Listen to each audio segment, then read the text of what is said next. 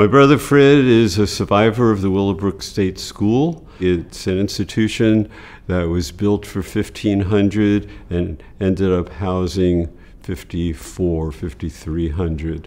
It became a dumping ground.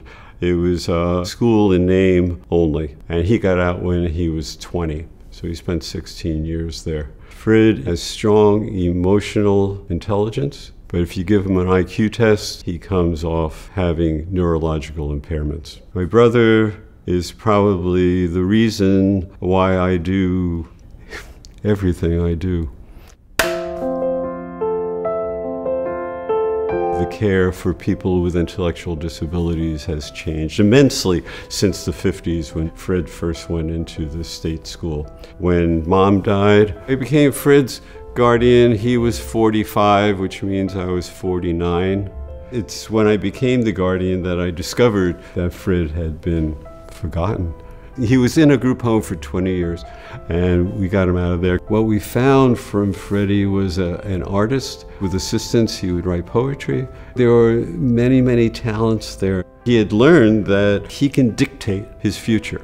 His poetry is presented at the New York City Poetry Festival on Governor's Island in the early 2000s. I think the biggest lesson that I got is that all people can learn, and they just learn in different ways.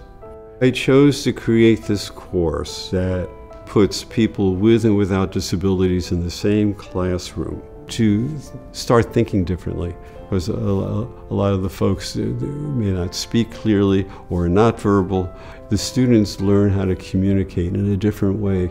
And, and what I'm stressing is that living differently is natural and that you know, doing everything with two arms and two legs and speaking a certain way is not particularly the only way.